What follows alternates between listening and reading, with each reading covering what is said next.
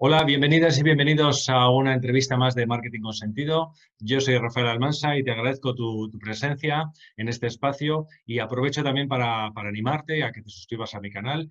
Luego te pondré el enlace o bien también que me sigas a través de mi blog, rafaelalmansa.com. Eh, mira, la entrevista de hoy creo que tiene un gran valor para ti porque es indudable que Instagram se está convirtiendo cada vez más en una red en la que los profesionales de la salud, del bienestar, ya seas un coach, un psicólogo o un terapeuta, se está empleando cada día más. Pero la cuestión es si utilizarlo bien o utilizarlo mal también es la diferencia entre hacer de este, de este uso del tiempo, de esta inversión, incluso de dinero, pues una herramienta rentable o que simplemente sea una pérdida de tiempo. Y para ayudarte a que, a que lo consigas, a que realmente tu objetivo sea positivo con tu utilización de Instagram, hoy tengo el placer de tener a un verdadero experto. Un experto no de esto sobre el papel, sino un experto de los que realmente lo ha hecho a base de curtirse, de probar y de probar y luego lo vas a descubrir, a partir de ahora lo vas a descubrir. Pedro, buenas tardes, bienvenido y muchísimas gracias por estar aquí. Hola Rafael, ¿qué tal? Bueno, y a todos los que nos escuchan también, buenas tardes. Aquí les vamos a, dedicar un momento a descubrir o revelar todos estos secretos que tienen que ver con Instagram y estas profesiones. Así que adelante, Rafael, cuando pues quieras. Mira, Pedro, lo, primero, preséntate tú directamente. ¿Quién es Pedro Rojas o señor manager, como tú prefieras? ¿Vale? Y, cómo ha sido, de alguna manera, cuál es, o bien tu propósito, o brevemente, cuál es tu trayectoria hasta, hasta este momento. Bueno, mm, eh, es que mi trayectoria es bastante larga y lo que voy a decir es que mm, eh, la gente dice que soy buena persona y que sé sobre redes sociales. Así que yo creo que con eso es suficiente. Eso es bastante. ya lo es muy fácil. La gente puede, los que están escuchando, buscan arroba senior manager en Instagram o Pedro Rojas en Google o LinkedIn y ahí ya tienen todo, lo que pueden eh, contrastar. Así que yo creo que es mejor si nos centramos directamente en, lo que le interesa a las personas. Eso es. Mira, Pedro, pues una de las cosas que decía yo sobre, ti, eh, y creo que es importante porque creo que eso también puede dar valor a la gente. Yo decía en la introducción, eh, comentaba que tú eres un experto, pero por lo que yo te sigo y veo todas tus publicaciones, a base de trabajarlo mucho, no sé cómo decirlo, de poca teoría, que evidentemente tendrás una base teórica, pero a base de ensayo-error, de hacer muchas pruebas, y me gustaría también que, nos comentaras un poco esta metodología de trabajo que tienes tú, cómo has profundizado mucho, pues en este caso en Instagram, para, conocerlo de verdad. Sí, sí, bueno, es fácil de explicar. Em, tengo una agencia desde hace unos 10 años, una agencia digital, que empezó precisamente en 2009, ya va para 11 años. Y, esta agencia también ha sido una escuela donde a partir de, eh, ayudar y gestionar cuentas de los clientes que hemos tenido, eh, que ya van alrededor de los 200 clientes que hemos atendido hasta ahora, pues eh, hemos aprendido mucho, yo y todo mi equipo. A partir de allí, también he desarrollado herramientas propias y he utilizado herramientas que ya están construidas. Y eso me permite tener un mix, una mezcla de diferentes elementos, variables, resultados que al final son los que me dan qué es lo que debo hacer en función de los reportes que estoy obteniendo. O sea, en la actualidad puedo saber a ciencia cierta cómo funcionan ciertos aspectos de las redes sociales, entre ellas Instagram, eh, a partir de intentar saber cómo funcionan los algoritmos. Y digo intentar porque eso no, no lo sabe nadie. Quien te lo diga te está mintiendo. Pero sí que se puede estimar cómo funciona un algoritmo a través de los resultados que se obtienen de muchas pruebas, muchas pruebas al mismo tiempo. Entonces, claro, eso es indudable. Si tienes, eh, los resultados no mienten. Si siempre haces lo mismo y pasa lo mismo, es que está pasando eso. Y así que a partir de allí puedo hacerlo. Entonces, ese recorrido sí me ha dado la ventaja y la expertise de poder hablar, hablar con propiedad sobre qué pasa en una red social y por qué se deberían hacer unas cosas y otras no, que es lo que al final a la gente le interesa, pues a los usuarios. Está claro, está clarísimo, Pedro.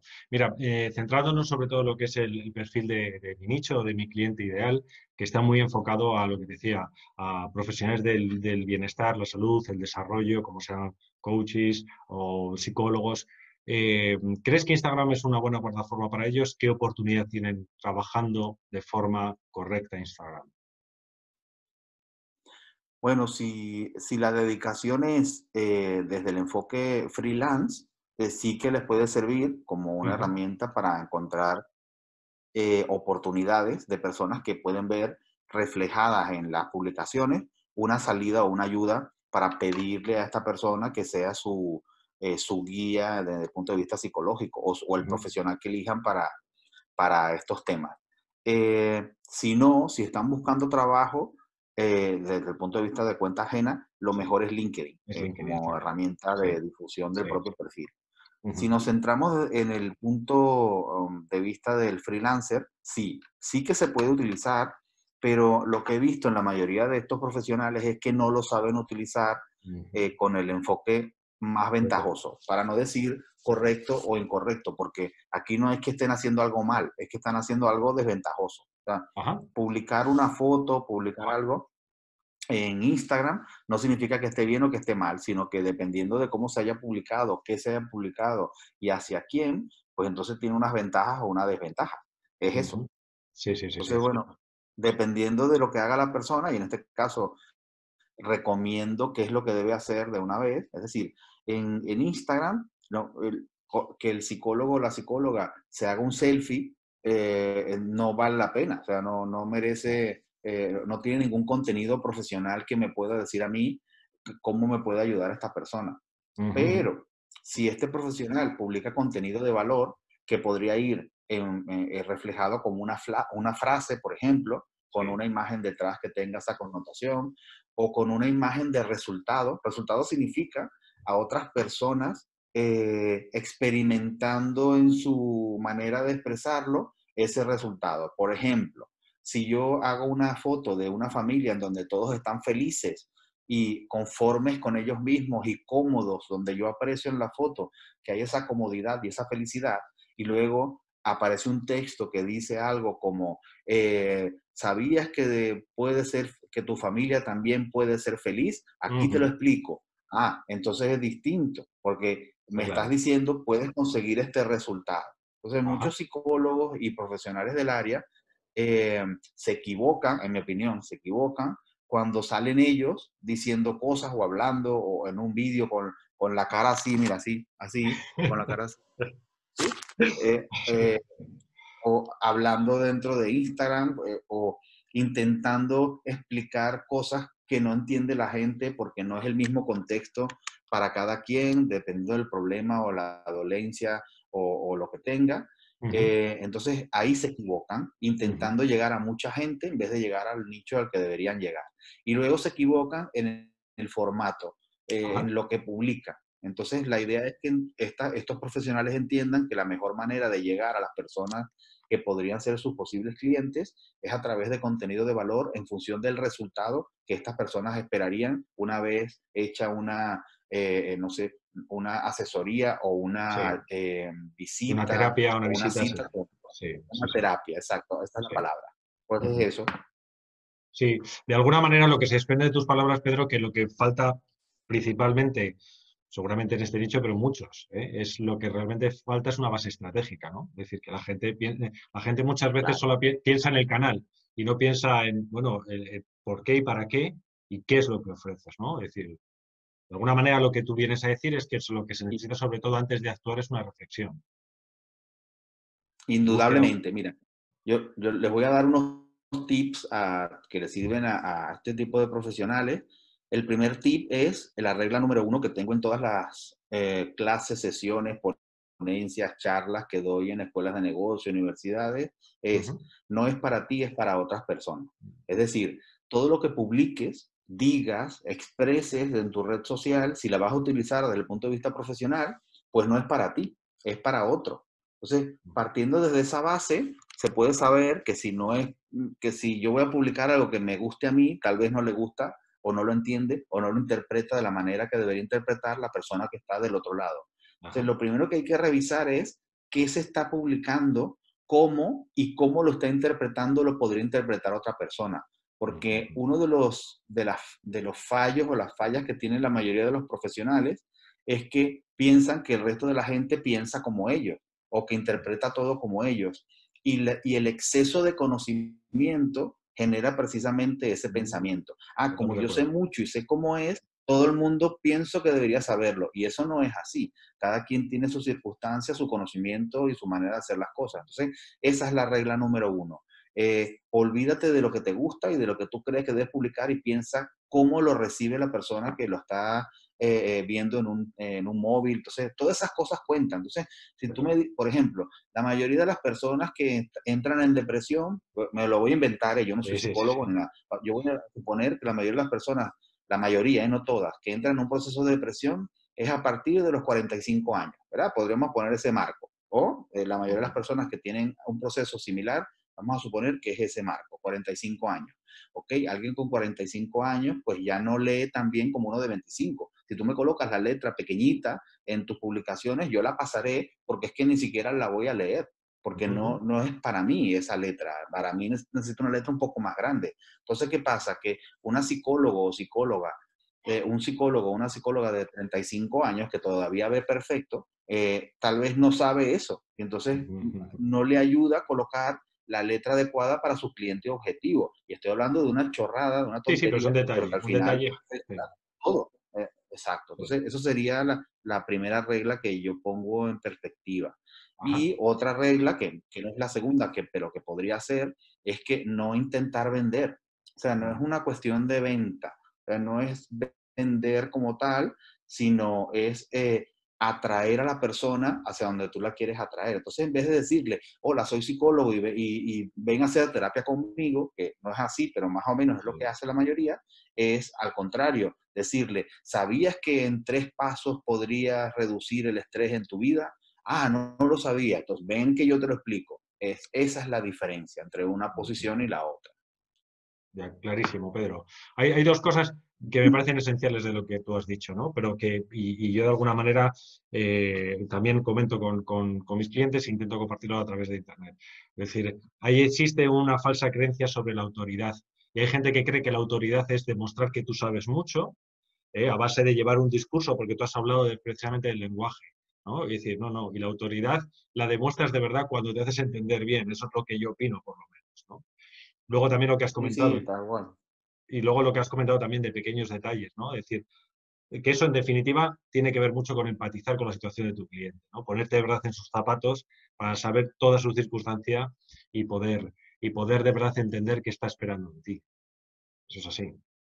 Y para, para este tipo de servicio, lo que más engancha o atrae es el resultado como tal. Y, o sea, no me pongas el proceso ni me pongas el producto ni el servicio. Dime qué voy a conseguir yo y a partir de allí tal vez te haga caso o me interese lo que me vas a contar en tus publicaciones. Eso es lo que mejor va a funcionar. Eh, otra cosa no, porque es que, mira, nadie está esperando, nadie está en Instagram esperando que venga un psicólogo a decirme cosas. Nadie, no, no hay nadie que se despierte hoy y diga, oye, pues déjame a ver si encuentro algún psicólogo que me diga algo que me ayude eh, y hago autoterapia aquí. No, o sea, la gente se levanta, ve su Instagram y empieza a ver, a revisar con el scroll y de, y de pronto se consigue con una publicación que le motiva y que dice algo como, ¿sabías que si, eh, tus hijos hablan poco contigo? Eh, puede ser una señal de lo que sea. Te lo explico en mi texto. Entonces, no sé, o sea, y yo, yo no soy psicólogo, eh, me lo estoy inventando. Pero he atendido a tantos psicólogos que, que, funciona, o sea, sé cómo debería funcionar. Eh, yo, yo, llevo cuentas de psicólogos que ya, que ya no me necesitan, ¿eh? porque esto no es ciencia de cohete, o sea, no tienes que saber fórmulas ni simplemente tener una lógica estratégica de lo que tienes que hacer. Y una vez se aprende, ya está, ya lo, ya lo puedes hacer tú, porque es tan fácil que, de entender que cualquiera lo hace. La cuestión es que no todo el mundo lo entiende a la primera. Por eso es que tanta gente se equivoca, porque piensan que lo están haciendo bien y al final no lo están haciendo tan bien. Está claro. Mira, Pedro, otra cuestión que yo creo que también es clave en, el tema de Instagram es la cierta dificultad que puede haber para dirigir tráfico donde realmente lo que dices tú, tú estabas comentando hace un momento, decir, oye, lo importante no es vender de entrada, sino compartir, dar valor, ¿vale? Atraer, ¿no? Tener un, poco claro que el proceso a veces es más rápido y otras veces tiene que ser más calmado, pero que también ayudes a, quien de verdad en un momento determinado quiere descubrirte en tu mm, versión, más decirlo, más profesional o comercial, dirigirle en el camino hacia, hacia tu plataforma principal, que será la web. En Instagram existen, quizá con respecto a otras plataformas, más dificultad. ¿Cómo podemos, cómo podemos superar un poco este, estos obstáculos? Eh, no, si supieras que no hay tal dificultad, lo que hay un desconocimiento de herramientas útiles para Instagram. Eh, mira, es muy fácil de explicar, eh, pero lo voy a explicar desde este punto de vista. Si la gente va a mi Instagram, por ejemplo, a arroba senior manager, verán que cuando hacen clic en el enlace, el único enlace que se puede colocar en Instagram por ahora, que es el de la biografía, si hacen clic allí, verán que tengo un árbol de enlaces. Y ese árbol de enlaces puede llevar a diferentes lugares, la web, el blog, un artículo en concreto, a preguntar la hora del servicio o para, qué sé yo, para hacer la primera pregunta, lo que tú quieras. O sea, lo que hay que hacer es indicarlo en la propia publicación, por un lado.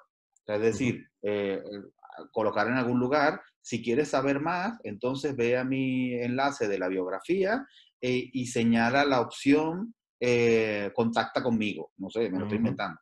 Entonces la gente irá a ese enlace y verá las diferentes opciones. Si eres lo suficientemente estratégico o has entendido más o menos lo que estoy explicando aquí, puedes colocar otras opciones con un nombre tan motivador y llamativo que luego irán a hacer clic también en esas opciones. Esa es la estrategia, se llama estrategia de atracción, alguien lo llama inbound marketing, pero eso es atracción a través de la motivación con algo que se llama call to action, que es una llamada a la acción, que te puede servir desde, bueno, y si son psicólogos, pues sabrán muchas más palabras para traer que yo, digo yo, no sé. deberían, deberían. Lo que pasa es que muchas veces también ocurre algo, Pedro, es decir, que la gente puede saber mucho, es decir, cuando está hablando de su profesión, a veces también se centran mucho en eso y cuando tienen que aplicarlo para vender ellos mismos, y yo creo que nos pasa a todos, a mí el primero, ¿eh? pues parece que, nos bloqueamos un poco más. es así es así. Eh, una de las cosas que te iba a decir también, muy importante, una gran obsesión de la gente en el tema de redes sociales y evidentemente en Instagram, eh, la cantidad. Vamos a decirlo así, ¿no? La gente tiene una gran obsesión como que parece asociar de forma muy directa, tiene muy, eh, muy implementado en la mente volumen de seguidores igual a éxito o resultados o retorno de la inversión o como lo quieras llamar. Sí. ¿Cuál es tu visión al respecto? Mira, es muy fácil de explicar también.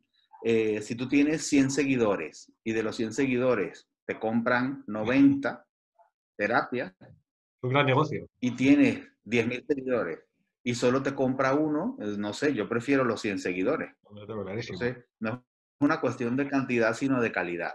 Esta interpretación se da por, mm, eh, si esto comenzó con Twitter, Twitter fue el primero en que empezó a sacar seguidores, ¿sí? porque eh, empezó Facebook con los likes, pero realmente la parte de seguir, y Facebook ya estaba limitado porque no todo el mundo quería ser amigo de todo el mundo, pero lo que salió Twitter, que empezó a crear, a crear esa pseudofama eh, o eh, esa disyuntiva de si, si tienes muchos seguidores eres bueno y si no los tienes no, eso. Eso se creó en esos años, entre el año 2009 y el año 2010, que fue el boom de Twitter, y hizo mucho daño para las redes y también para eh, todo el ambiente de la red como tal, porque generó una falsa creencia de que tener más seguidores era bueno y tener pocos era malo o tener un balance eh, con un gap, con un hueco allí amplio era bueno, es decir, me siguen muchos yo no sigo a nadie, eso es lo mejor. no, eso no funciona así. Eh, si vas a mi cuenta de Twitter, verás que yo sigo a 107 mil y a mí me siguen 110 mil, con lo cual no es una diferencia eh, que puedas decir eh, gigantesca. Y yo podría dejar de seguir a todas estas personas y entonces yo tendría 110 mil seguidores y seguiría 5. Mm, pero mucha gente aprecia eso como que si es mejor, eh, como que si supiese yo más porque no sigo a nadie. No sé. Esa, esa falsa creencia ha generado ese paradigma de que tener más es mejor, lo, lo, cual genera este problema, porque claro, eh, ¿cómo convences a todas esas personas que lo piensan de que no es así? Entonces, eh, ¿cuál es mi, mi versión o qué es lo que yo recomiendo? Pues sí, intenta tener un número de seguidores tal que, que no parezca que, que, tú tienes pocos, ¿sí? Como para que no parezca que sabes poco, pero al mismo tiempo eh, no tienes que tener un gap de seguidos, es decir, no, no dejes de seguir a las personas porque quieras tener más. Intenta tener un balance en donde tengas más personas que te siguen que las que tú sigues, eso seguro. Pero al mismo tiempo, no dejes de seguir porque porque ser mejor, porque es que no tiene ningún sentido. Y, está comprobado que si tú sigues a una persona, la persona eh, genera un ambiente de reciprocidad hacia ti que a ti te conviene. Que es que luego, mira, Pedro, la otra cuestión que te iba a decir, eh, buscando un poco las variables que nos, hace, que nos hacen conseguir que seamos más visibles, evidentemente siempre tienes que, tenemos que hacerlo con, la base de aportar valor, ¿no? Pero ¿cuáles, eh, ¿cuáles son los elementos que funcionan, que más mueven el algoritmo de, Instagram para conseguir ser más visibles, evidentemente, a quien, a quien queremos ser visibles? ¿Qué es lo que más hace que, consigamos esta, esta visibilidad?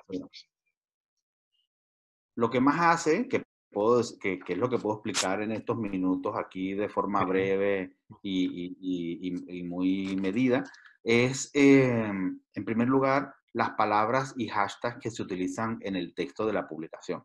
Es decir, eh, si utilizas, o sea, el algoritmo de Instagram funciona ahora de manera tal que muestra a las personas no solo que mm, quiénes de las personas que siguen eh, eh, les ha gustado más, sino qué tipo de textos y qué combinaciones de palabras clave estaban en las publicaciones de esas personas. Lo voy a poner como un ejemplo si yo repetidamente eh, demuestro interés, interés significa que me quedo más tiempo viendo eh, la publicación, vea, aquí tengo el teléfono, si yo me quedo viendo una publicación y me quedo viendo, viendo, viendo, Instagram empieza a analizar qué palabras clave están en esa publicación.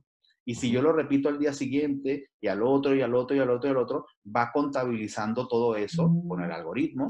Y entonces llega a la conclusión de que a mí me gustan sobre todo los posts que tengan la palabra, me lo voy a inventar, eh, no, es así, la palabra eh, mm, eh, aeropuerto, mm, volar y viajar. Entonces, piensa que a mí me gusta todo lo que tenga que ver con esas tres palabras. Entonces, ¿qué va a hacer? Pues va a intentar ponerme publicaciones que las tengan.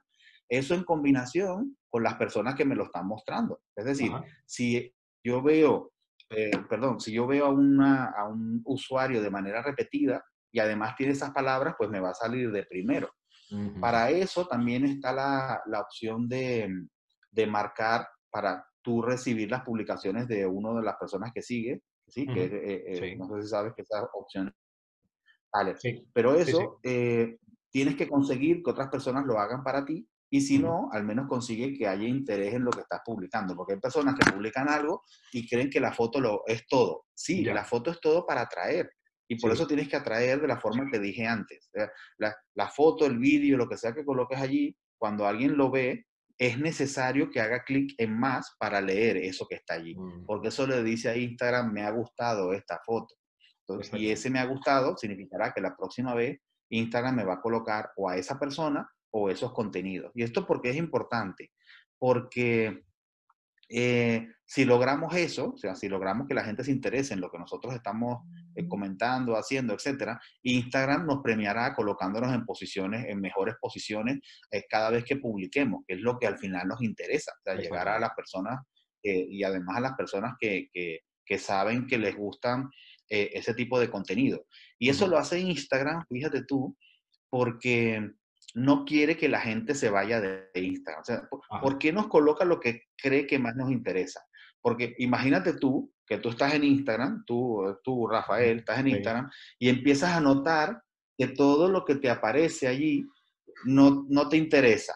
Te empiezas a notar de la noche a la mañana que todo lo, todo lo que está allí no te gusta, no te interesa.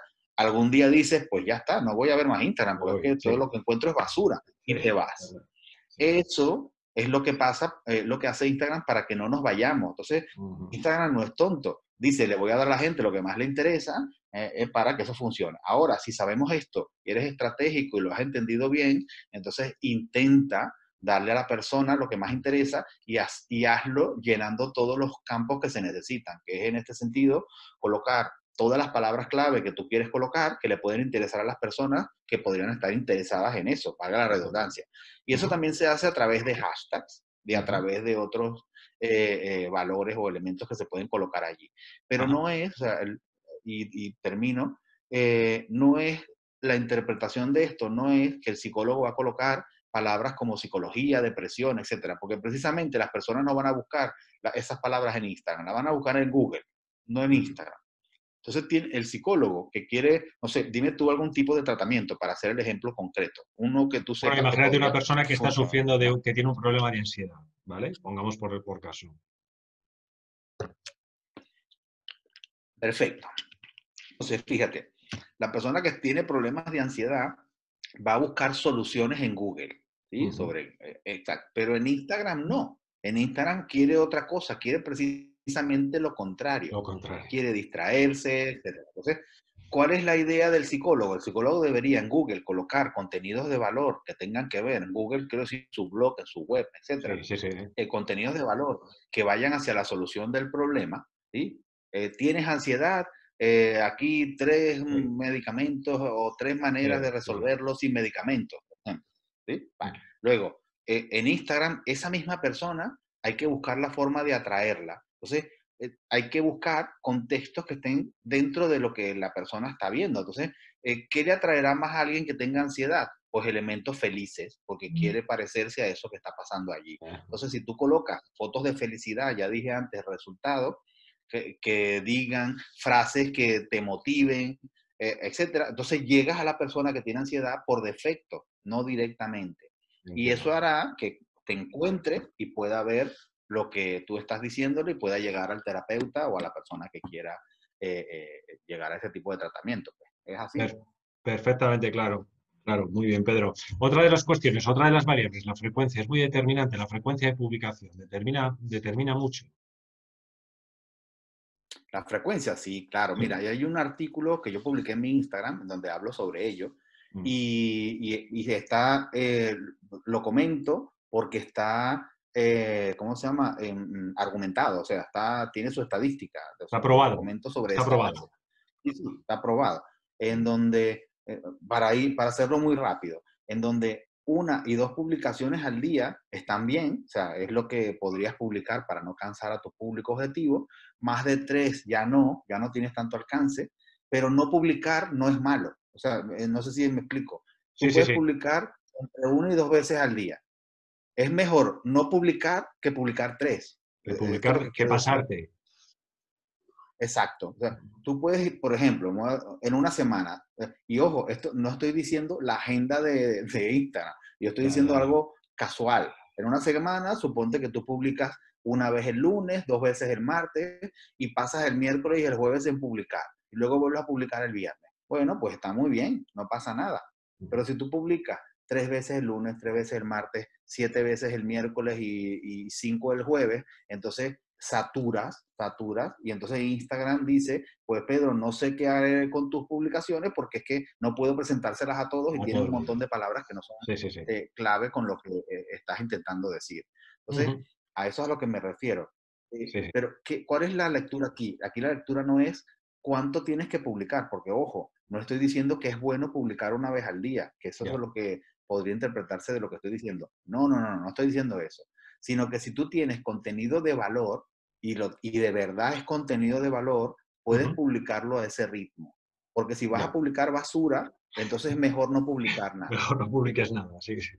Exacto. O sea, si tú, mira, es mejor pasar una semana sin publicar porque no sé, porque no conseguiste ningún contenido, porque, eh, no sé, cosas que no sirvan, no.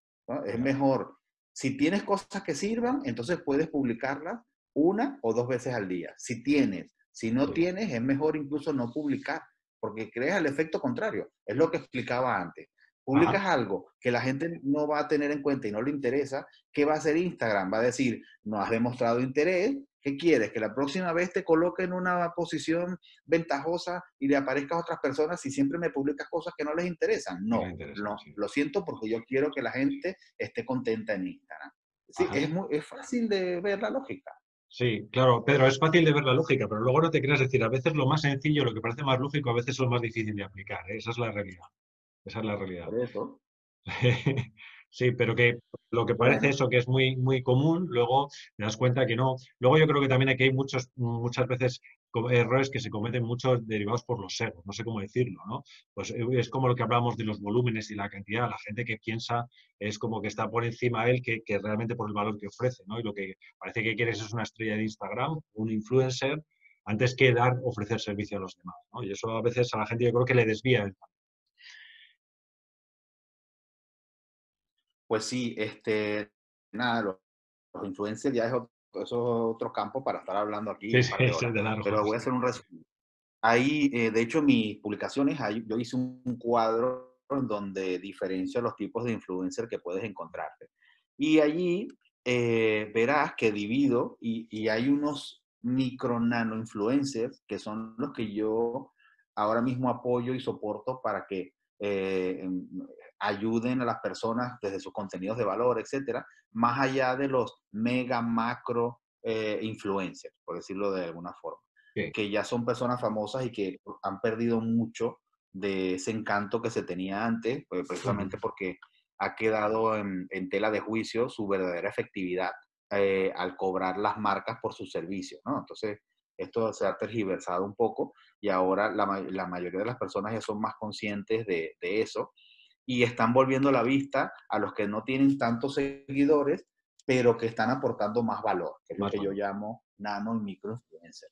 Eh, yo diría eso, que las personas empiecen a saber identificar que una cosa es la fama y otra cosa es eh, saber, porque eh, que si alguien me dice que, no sé, Shakira, que tiene muchos seguidores, me puede decir algo que pueda servirme, yo creo que no. lo siento mucho, pero yo opino que no. Eh, y tiene muchos seguidores, con lo cual, bueno, eh, cada quien tendrá que ver desde su punto de vista qué le sirve y qué no le sirve de cada persona. Eh, porque al final es eso, la, influencia, es decir, cuando alguien ve a Shakira con una marca en Instagram, pues ya debe saber que le han pagado. No creo que sean tan tontos para ir a comprar eso, no sé, digo yo. Pero, Entonces hay una diferencia, porque una cosa es fama y la fama ya viene añadida, entonces eh, la gente confunde eso y es el gran daño de las redes sociales, los seguidores, los likes, todo eso ha hecho mucho daño, ha hecho porque hay mucha gente ignorante y mm. que, que, que, interpreta mal esas variables. Entonces, eh, yo pienso y opino que hay personas que merecen o merecerían tener muchos más seguidores, pero su desconocimiento del manejo de la tecnología no les ha permitido llegar a esa gente y, realmente deberían tener ese acceso. Hay un montón de gente que yo conozco que sabe mucho, profesores, eh, decanos de universidades, ostras, que esa gente tiene un conocimiento, cada vez que habla, aprendo. pero claro, ellos no saben manejarse en Instagram para llegar a otras personas. Y ese es el problema, que el, el famosillo sabe más de ese manejo, de llegar a la masa, que el erudito que, que tiene el conocimiento real. Pero si las personas siguen siendo tan ignorantes eh, en ese sentido, que no es culpa de ellas, ¿eh? la mayoría de la gente que es ignorante no tiene la culpa, es ignorante por otras razones circunstanciales, pero al final lo es. Eh, pero es eso, es un tema de, que está entre la ingenuidad y el sentido común sobre cómo se ven esos, esas variables o esos parámetros y cómo se interpretan. Mm. Pues mira, Pedro, yo creo que estamos llegando precisamente al final de la entrevista, pero es que no me parece que haya mejor colofón que lo que tú estás diciendo. Me parece que lo que estás aportando, eh, de alguna manera, personas como tú, profesionales como tú, eh, bueno, sí se pueden cambiar las cosas, ¿no? divulgando, ¿no? Lo que dices tú, bueno, la, ignorancia también es problema de quién, de quién se le da voz y qué difunde, ¿no?